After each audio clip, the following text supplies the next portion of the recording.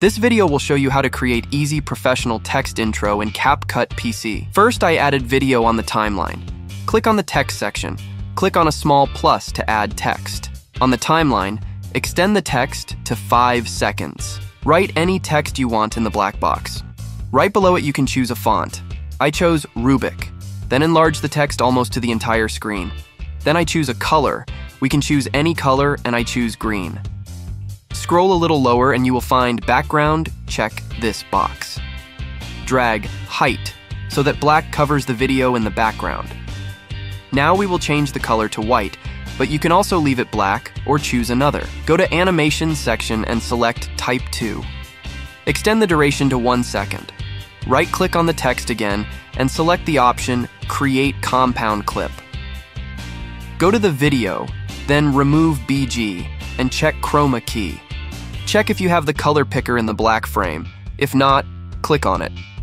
Then click green in the text. Adjust to the timeline so that you see the letters that appear and are green. Then increase the intensity so that there is no green left in the text.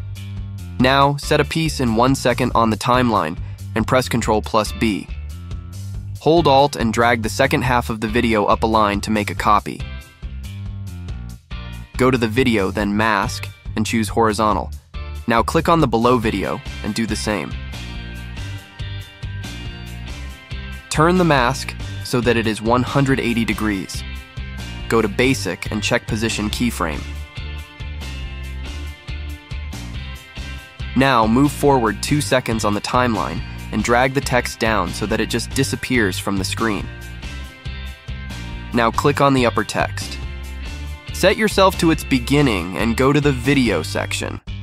Again, check position keyframe. Now click on the bottom text and see where your second keyframe is and set yourself at it. Click again on the top text and drag it up until it disappears from the screen.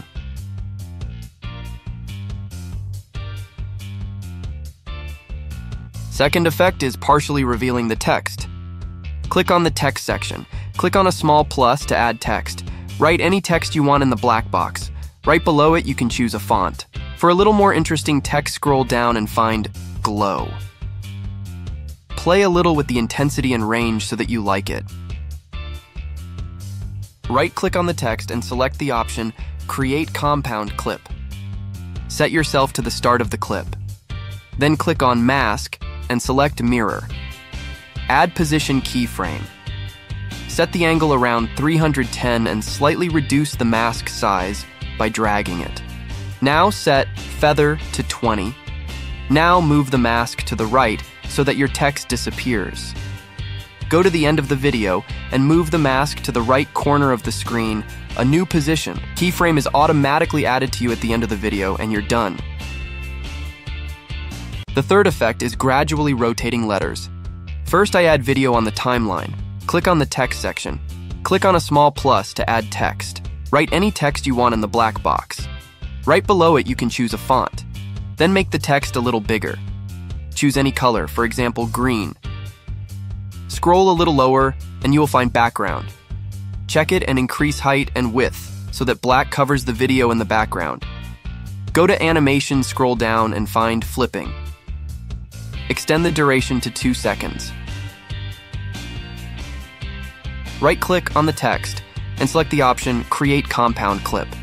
Go to the Video, then remove BG and check Chroma Key. Then click Green in the text. Then increase the intensity so that there is no green left in the text. I'll go to Basic and enlarge the text a bit. Find Blend, check it, and set Mode to multiply. Change the opacity to something around 85%, and you're done. The fourth effect is a cinematic zoom effect through text.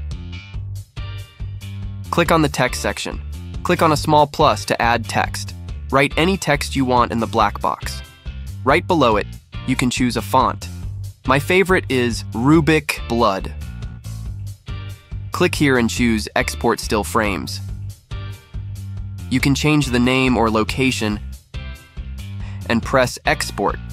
Now click on Import and the image should be added there. If not, you can find it in the file where you saved it delete text layer and add background video and that text as picture. I now cut the video by pressing Ctrl plus B and pressing delete. Now I hold down Ctrl and roll the mouse wheel to zoom in on the timeline. I click on the beginning of the text and set the keyframe to Scale and Position. On the timeline, set to 3 seconds and change the scale to 500%. Plus, add another keyframe to the position. Go to just before the end of the video and set the scale to 6000%. Move the text so that the white area covers the entire screen.